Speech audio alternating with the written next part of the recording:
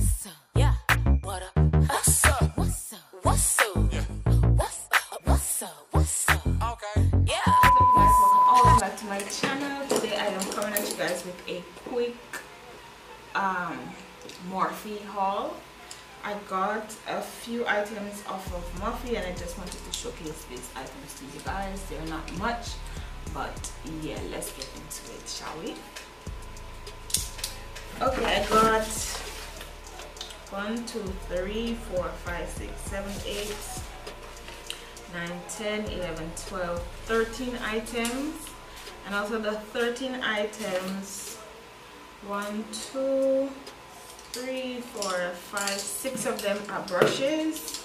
These are the brushes. I just use them so they are dirty but I really love those brushes. The brushes that I got is the M562, the Tiny Crease Blender, the M441, the Pro Firm Blending Crease brush, the M433, the Pro Firm Blending Fluff, um, the M506, the Tapered Mini Blender, and the M224, which is the Oval Camouflage brush, and also a pointed mini blender which is the M507 all these brushes are really good. I did I used them to do my makeup today and I was really pleased with them. The only thing is that the M507 was shedding.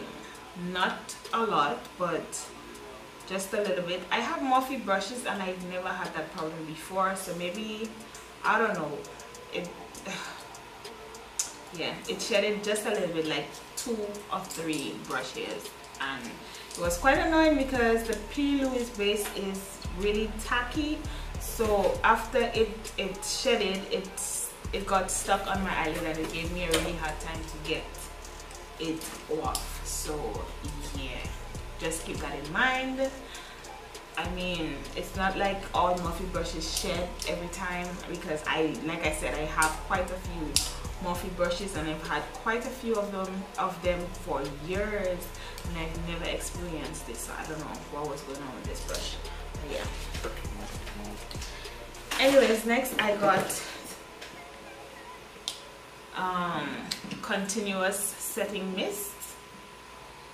This is what it looked like. I love this. It smells really good and it gives such a fine mist oh and also I got their new luminous setting spray as well. Mm. this is what it looks like. It's not um, in the can like this one but the mist is also very fine and it smells oh my god it smells so good Ooh. girl it smells like coconut. Really smells really good guys. Really really good.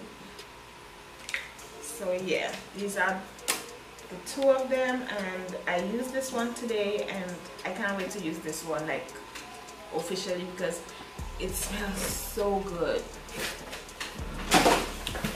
Next I got four P. Louise paints. I got glow girl i got two of those by mistake. I actually wanted to get the this one and the hot pink one which is Reva but I end up getting two of this one by mistake.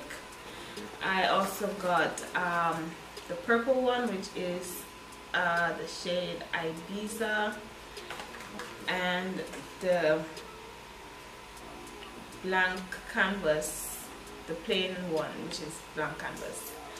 So yeah I also got Duo. I've never tried Duo Lash Glue before. I got the one with the brush and I used it today and I like it. I like it a lot.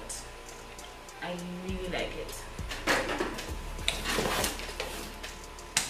And I guess that's all the products I guess that was fast. I didn't even realize that I was done, but I that is all the products I got. You guys I also used um, black blank canvas to cut my crease and I cannot wait to use the other two paints because I heard quite a lot of great things about those paints so I cannot wait to try them.